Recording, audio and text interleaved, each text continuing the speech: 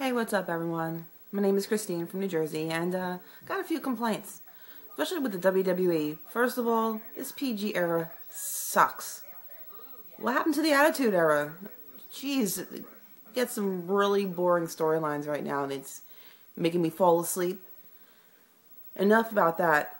What's going on with the Zack Ryder show, True Long Island Story? You're going to get rid of it? Are you serious, bro? That show is hilarious. Everyone loves it. What's the problem? I love Zack Ryder. He's the best. He's, you talking about? Fist pump in the air and everything? Come on. And you get guys like the Big O showing up. Come on, man. That's a future talent right there for WWE. You don't take that dude, that's a wrap. This this guy is amazing.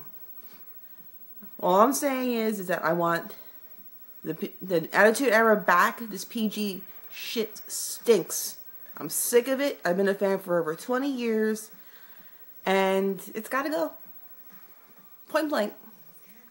And I am a longtime fan of the True Long Island story that needs to stay on. And I'm sure I'm not the only one that's not going to disagree with that. So I'm right behind you, Zack. Woo, woo, woo. You know it.